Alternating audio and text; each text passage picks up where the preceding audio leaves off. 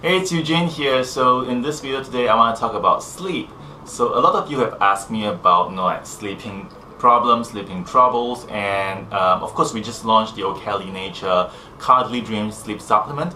Uh, but I think this is a topic that I feel really personal about because I used to have problems sleeping. I used to take like hours before I go to bed, and, and, sometimes even now, like once in a while, I find that I fall into that state um, if I'm too stressed or if I'm thinking too much. So in today's video, I will take you through a few tips to find out how you can learn to train your brain to sleep better so you wake up feeling healthy.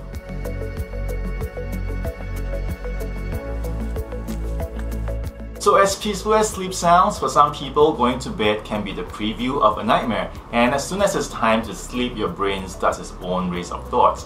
And each thought sprinting faster like than the first. It's almost like a car race. And as soon as one takes off, um, the other one comes charging behind. So your brain starts turning this ever-ending thought into a habit.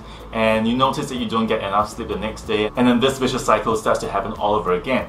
Uh, unfortunately, there is no snooze button you can press to shut down your brain at bedtime. But luckily, there is a bypass, right? You can train your brain to think to allow you to sleep better and deeper.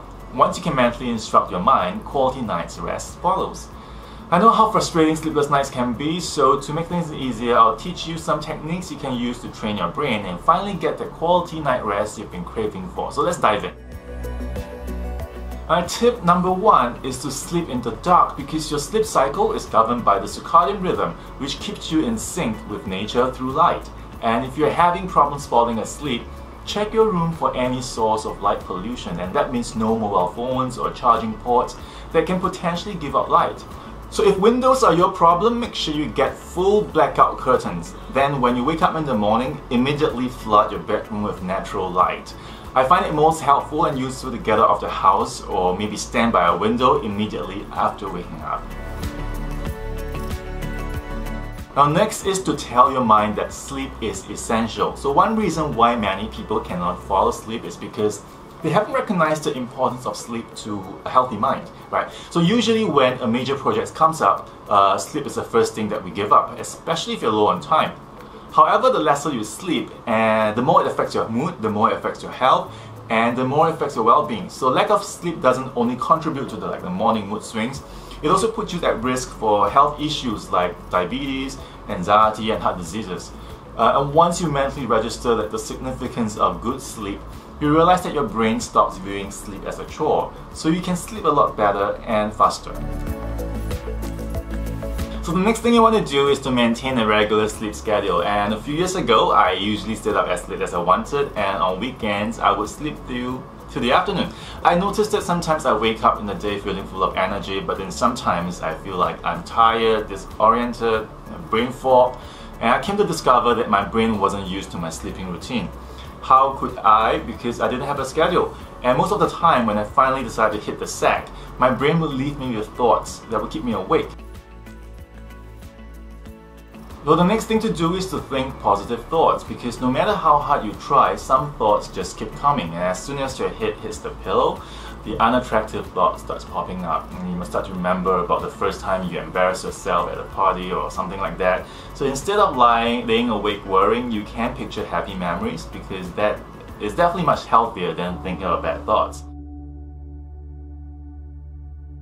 Um, and then next is to remember to meditate. You know, so if you're meditating, great for you. But if you're not, meditating before you go to bed helps to reassure your brain that you're at ease. It can be as simple as breathing in and breathing out deeply for a few minutes. You feel relaxed, it stimulates your brain to release endorphins, and it also helps to reduce the inflow of thoughts and gently train your mind to relax and rest.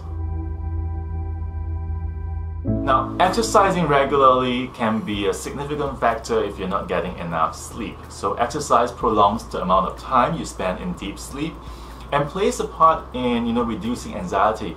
So I recommend that you try a few simple workout routines or doing some light stretching.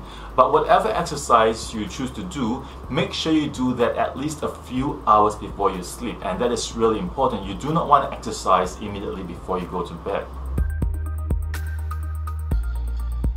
Next, you want to write down your thoughts. Um, the human mind will always hover around problems, and sometimes, no matter how hard you try, some thoughts will tend to creep in and keep you awake. And you know, the best way to let out of these stubborn thoughts is to write them down. Uh, you can use a pen or a paper, or you can use your phone, but whatever thoughts that you have that's keeping you awake, be it family issues, no issues at work or your business or projects, so instead of thinking about it, write it down. The next tip is to avoid active activities in bed. So bring work home is never a great idea and it's even more damaging to you if you bring your work to your bed. Now you need to instruct your brain to fall asleep whenever you put your head on the pillow. So get rid of the phone, stop watching Netflix or avoid any other activities that can distract you from sleeping immediately. Now, sex can be an exception. Having an orgasm before sleep can help you by releasing feel-good hormones that convince your brain that you are in a safe and relaxed space. For women, orgasms not only help you sleep quicker, it also induces a deeper sense of sleep. However, sometimes some people feel more active after sex. Then, if that's the case, then you can have your sex during the day uh, or have it somewhere else in the bedroom, but not on your bed. So, like our fingerprints, you know, each human being is different. Uh, some people feel more energized after nine hours of sleep, some people only take seven. Regardless of what group you belong to, uh, sleeping healthy doesn't have to be an impossible feat. You just need to change your mindset, and with the tips I've given you before, hopefully that's going to help you to sleep better and sleep healthier in no time.